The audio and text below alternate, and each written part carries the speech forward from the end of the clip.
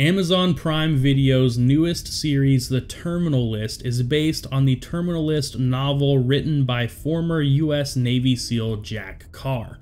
And Jack Carr's novels focus heavily on realism and authenticity in all aspects, but especially when it comes down to the weapons and gear the main character James Reece uses. Just like Jack Carr, James Reece is a U.S. Navy SEAL, and Jack Carr wanted to make sure that all the weapons and gear and clothing and truck he drives, and even down to the coffee he drinks in the morning, is grounded in realism and is all things that U.S. Navy SEALs really like to use. So in today's video, we're going to take a deep dive into the weapons and gear of the terminal list, and specifically James Reece's everyday carry. Now keep in mind that there's a ton of weapons and gear throughout this TV show and I am not going to be able to show all of it here in this video. So if this video does well and you guys want to see a, a follow-up video to this with even more gear or if you want to see something specific that I missed that you're interested to know more about, just let me know down in the comment section below and hit that like button to show your support on this video so I know you guys want to see more stuff like this. But let's start things off with the rifle James Reece and Alpha Platoon used in the first episode during Operation Odin's Sword. The team was running 10.5 inch barreled HK 416s, fitted with a Geissele MK15 10.5 inch 416 handrail. And in classic Garand Thumb fashion, we're going to go tip to butt on this bad boy, and I'll make sure to have all these attachments listed down in the description below for you guys to take a closer look at if I go too fast through these. But starting off, they have a rugged suppressor Micro 30 on the tip of the barrel here. Just behind that, on the top of the rifle, we have an L3 Insight Technologies PEQ 15, and then next to that, there's a Cloud Defense Rein Weapons Light. Just under that on the handrail we have a Magpul foregrip.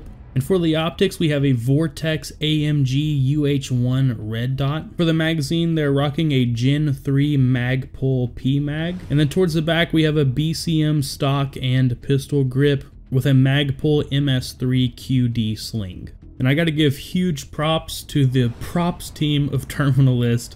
Wow, that was a lame joke because this gun it looks so freaking hot. HK, for the love of all that is good, please give us an affordable semi-automatic civilian 416. Next up, let's take a look at Reece's more casual everyday carry setup when he's not on deployment or going out snatching souls. The picture you guys are seeing right now is from episode 8. His everyday carry does change a decent amount throughout the show. For example, the watch he's wearing here in this picture is an Oris watch, but you can also see him wearing G-Shock and a Resco watch throughout the series. The knife in his hand is an Emerson folding pocket knife. You can also see a rubber wedding band on his hand. The hat he's rocking is a Columbia tree flag hat, and of course he has his trusty Gatorz sunglasses that we see him wear throughout the series. And while it's hidden away in this picture, he is carrying his Glock 19 inside the waistband.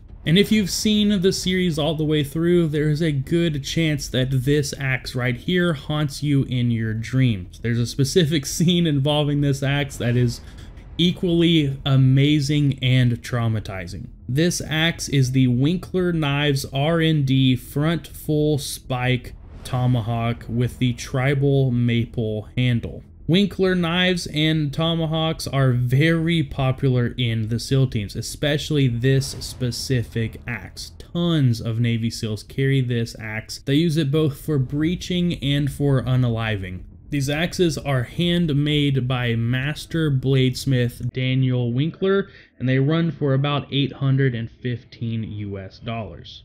Next up, let's talk about plate carriers. In the final episode of the series, James Reece is rocking a Gadsden Dynamics ALPC plate carrier in black multicam. The plate carrier is set up with four AR mag pouches going across the front, and then on his belt he has a Sentry tactical dump pouch, extra pistol mags, and of course his Winkler Tomahawk.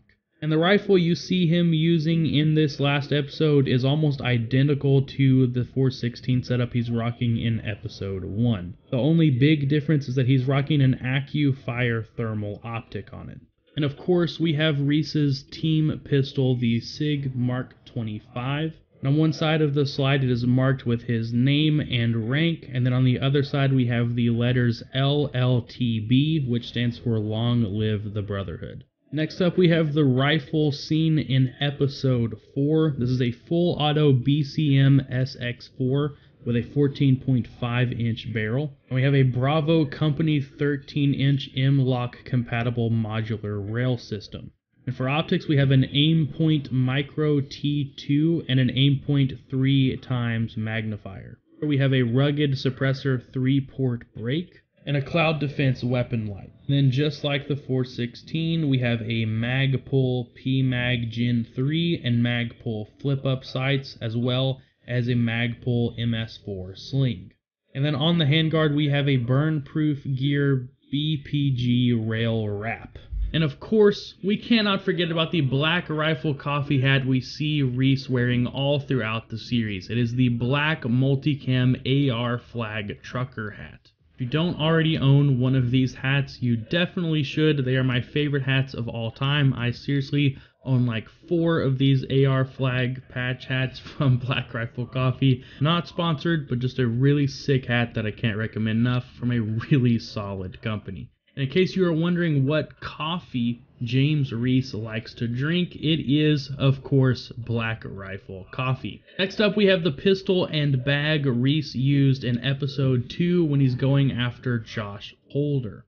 The gun is a Kimber 1911 with a rugged suppressor Obsidian 45. And Reece has a Firefield Optics paracord sling hooked to the gun's lanyard loop so that he can hang it from his neck under his jacket. In the bag is a Hill People Gear runner's kit bag, and he's using it as a break-in kit with all of his lockpicks and such hidden within the bag. I think that's going to be the end of the video, guys. Thank you so much for checking it out. Like I said, there's still plenty of gear to go over, so if there's anything that I missed that you would like to see, make sure you let me know down in the comment section below. But I hope you guys have a fantastic rest of your day, and I'll talk to you guys later.